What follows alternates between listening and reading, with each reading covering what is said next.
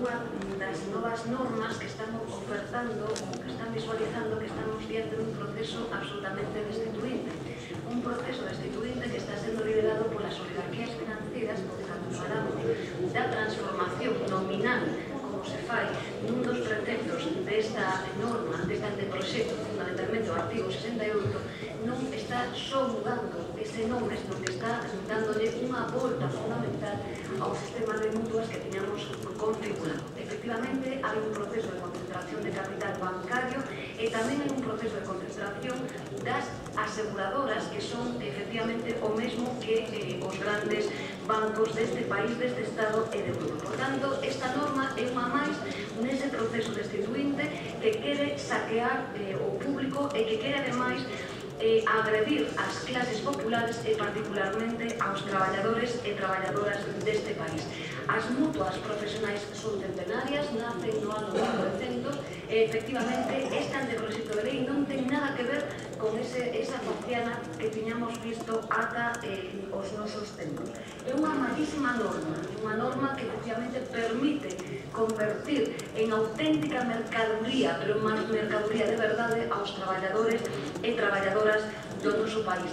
Non soamente é que vexe os traballadores e traballadoras do, do noso país nunha situación de indefensión, que si é gravísimo que fai a norma, eu recomendo que se lea o informe que eh, emite contundentísimo no que exixe a retirada inmediata de moitos destes proxectos particularmente ou que ten a ver con eh, as altas presuntas por silencio administrativo sin que interveña ningún facultativo ni facultativa de, do noso país cousa tremendísima e o que quere dicir que pola pasiva os, as propias patronais, é dicir, os empresarios e empresarias van a ser a través das novas mutuas as que lle dean ou teñan a vontade e a posibilidade de decir cando un traballador, unha traballadora tense que incorporar ao seu posto de traballo. A alternativa galega de esquerda ten matices coa proposta que fai os meus andaluces. Non inspección médica. A inspección médica debe xogar o rol que xoga na actualidade, pero no noso ideario son os facultativos e as facultativas do noso país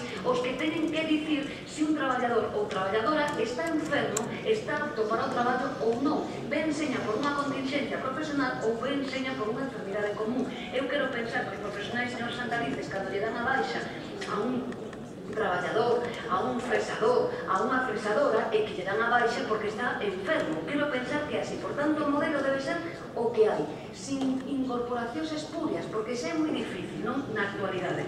Entón, primeira cuestión, nos eh, é unha, unha iniciativa do bloque que imos apoiar, pero non compartimos o matiz que vostede acaba de incorporar. Temos un sistema perversísimo. A última reforma laboral, brutal, é dicir, realmente sí que hai, como volvo a decir, decir o profesor Antonio Bairos fala da privatización absoluta do Estado, xa non ten nada a ver, non é un principio intuitivo, non hai nada. Os traballadores xa están mortos de morte matada.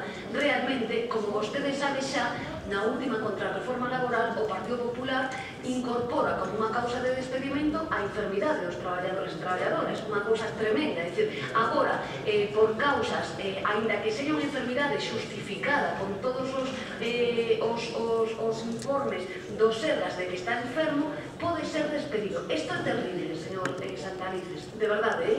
Isto é colocarnos non nos tempos de Dickens, é colocarnos nun mundo no que a alternativa galega de esquerda non quere vivir. Non queremos vivir nese mundo, é terrible. Por tanto, que queremos un país moderno, no que a ciencia seña punteira, no que a xente, se si está enferma, poda, dende logo, pedirse unha baixa, no que teñamos, ademais, cobertura adecuada, no que non teñamos que pagar os traballadores e traballadoras eses 4 días de anuencia, de, de, de, de non cobertura de seguridade social. É un tema realmente eh, profundo que nos imos a apoiar e que ten complemento co, co que onde discutíamos respecto das pensións. Onde falábamos de que queren ese botín das pensións públicas do aforro dos traballadores porque supón manexar 120.000 millóns de euros ao ano. Bueno, pois agora isto vai máis no mesmo. E unha cousa en remato, señora presidenta, é brutal novamente a invasión de competencias. É mellor que pechen a Xunta de Galicia, e que é mellor que pechemos a Xunta de Galicia, porque esta norma, unha vez máis pola porta de atrás, invade as competencias propias do noso eh, país.